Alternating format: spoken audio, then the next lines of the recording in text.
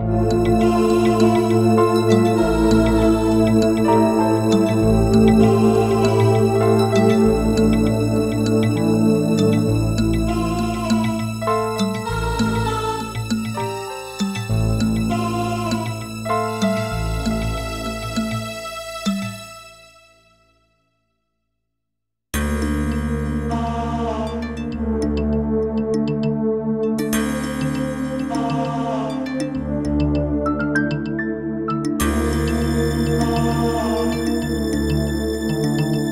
Hank's diner in the pool hall next door played a large part in my teenage years.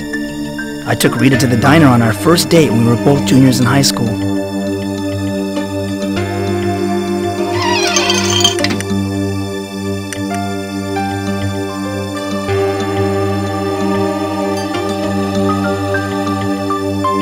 Hank's diner isn't the swinging place it used to be, but Hank still does enough business to keep the place going.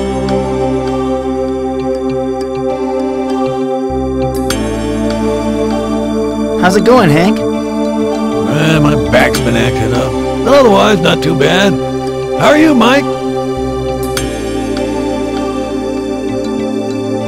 I'm starving. What have you got to eat around here? Like you haven't seen my menu a thousand times. What are you hungry for? Ham and eggs, grits, pancakes? Pancakes? Rita and I used to come here for pancakes after church. You two were quite an item back when you were in high school. Shame about what happened to her. Real tragedy. Who do you think murdered Rita? Oh, I can't imagine it was anyone from around here. But he's one sick dude, whoever he is. Sick? Murder isn't a disease. It's evil. Relax, Mike. It's just a figure of speech. I don't think anyone's going to show the killer any compassion when they catch up with him. Have you heard any more about the investigation? Deputy Brown stopped by to get some coffee and donuts on his way to Rita's place. He was saying that the FBI might be called in. Doc Larson was telling us some pretty grisly stuff.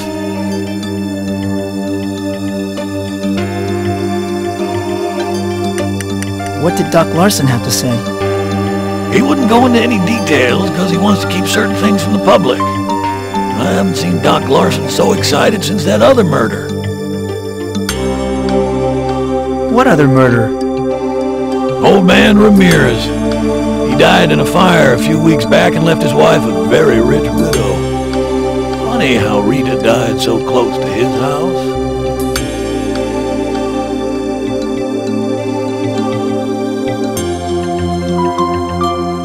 I don't see anything funny about Rita's death. Sorry, Mike. Uh, I forgot that you two were friends. It's just that Rita and Ramirez were uh, friends. Some folks saw them walking in the park together and holding hands. I don't believe it. Rita wouldn't fool around with a married man. You're right. It's just gossip. Forget I ever said anything. Rita was murdered in a public park. How could they keep any details secret? Doc Larson had her body moved to the morgue before dawn. Deputy Brown said the sheriff wasn't too happy about that. Didn't give him much of a chance to examine the crime scene first. I need some fresh air. You don't look well, Mike. Why don't you go out for a walk? Nice day for it. I think I'll just do that, Hank. See you later. Take care, Mike.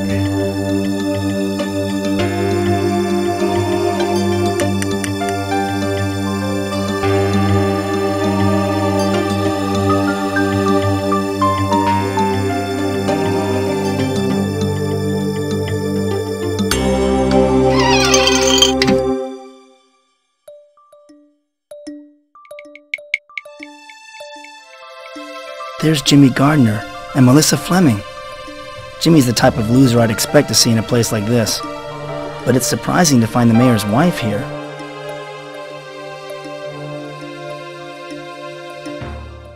Hi, Jimmy. Long time no see. Well, well, it's Mr. Big Shot Writer. What brings you down to this part of town? Slummin'? How about a game of pool? Cut the crap, Dawson. We might have been friends once, but that was a long time ago. We were friends in high school. Why are you so angry with me now? Let's just say that you and I don't share the same interests anymore. You're a real tough guy now, aren't you, Jimmy? You got that right, chump. I'm the local wise guy, so stay out of my way. I hear that your interests these days aren't exactly on the up and up. So what? There's a lot going on in this town that ain't exactly on the up and up.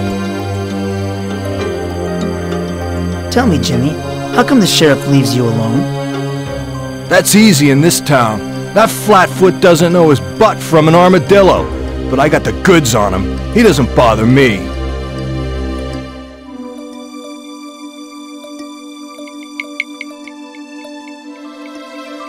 What do you know about Sheriff Butler?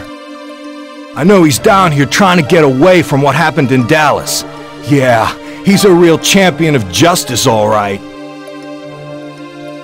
Maybe I should go. Yeah, get out before I throw you out.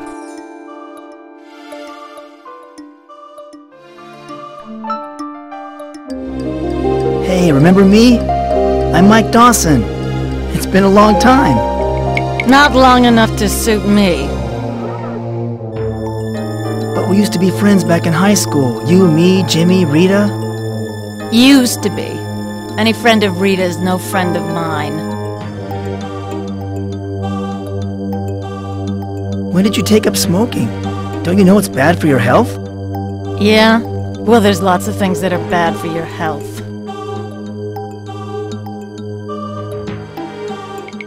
Poor Rita. It's a shame what happened to her. Poor Rita? That little tramp had it coming to her. How can you say such things about Rita? Forget it, Dawson. Forget I even said it. Now buzz off.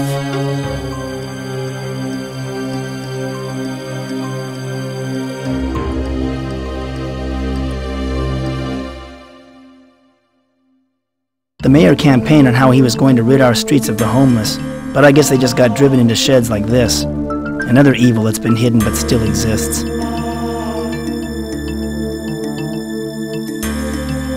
I found an old coat hanger. This might be useful.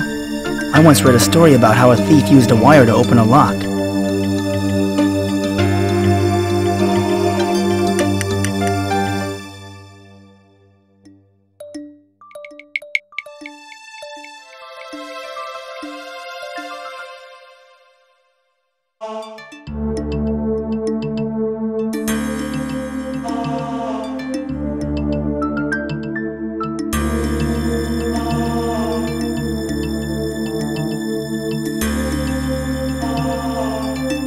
Civic Center.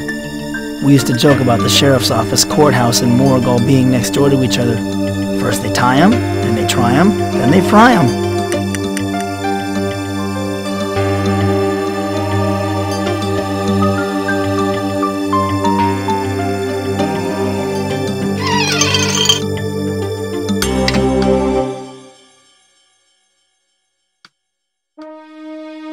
Andy and Barney would be right at home here. But this ain't Mayberry, and unless I can get the sheriff off my back, there ain't going to be a happy sitcom ending.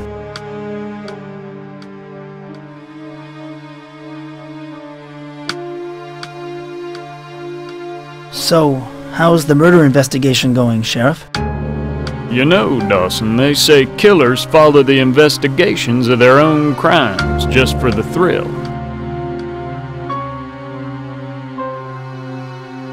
Heard rumors about the condition of Rita's body. Rumors?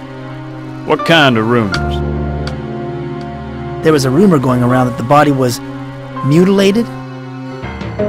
I'll tell you one thing. Doc Larson was having himself a field day, happier than a pig in slop. But I can't reveal details. We have to withhold specific information that only the killer would know. Uh, Dawson?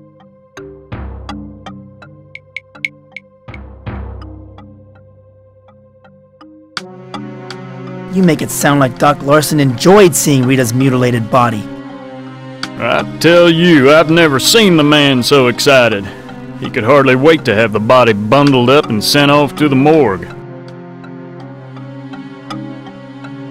That Doc Larson's one strange guy. Well, you know he was kicked off the hospital staff, don't you? Something about fooling around with some patient in the hospital morgue. But I shouldn't spread rumors. Do you still think I'm the one who killed Rita? I can't think of anyone else who makes a better suspect. I tell you, if I had one good hard piece of evidence against you, I'd have you behind bars so fast your head would spin. Why do you let a thug like Jimmy Gardner run around? Does he have something on you? Shut your mouth, Dawson. You're pissing me off.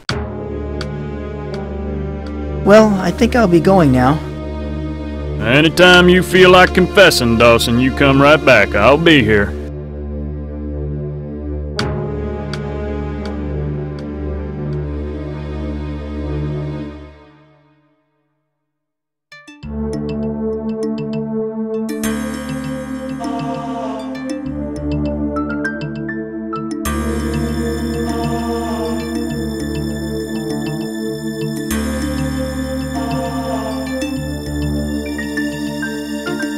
The carnival has been set up here in the park for more than a week now. I wonder when it's going to finally open.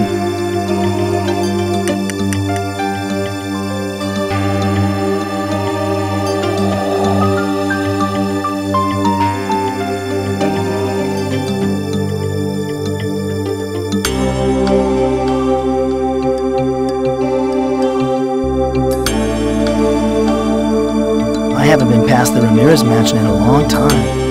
It's one of the town's oldest landmarks. They used to own all of the land around the park before they donated it to the town.